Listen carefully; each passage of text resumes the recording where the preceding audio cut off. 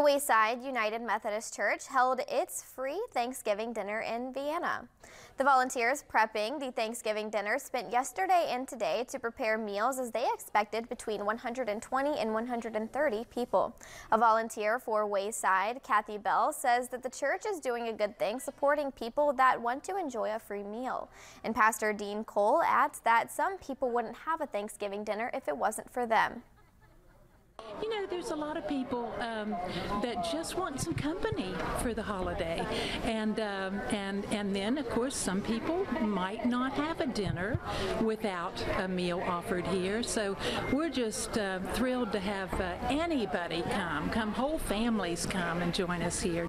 There's a lot of folks uh, who would not have a, a, nice Thanksgiving dinner were it not for for things like this, for um, churches like Wayside who are willing to do the hard work and and put something like this together.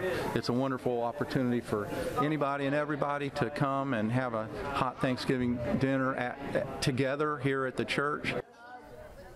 He adds that even though this is a dinner put on by Wayside, many other churches in Vienna are also involved.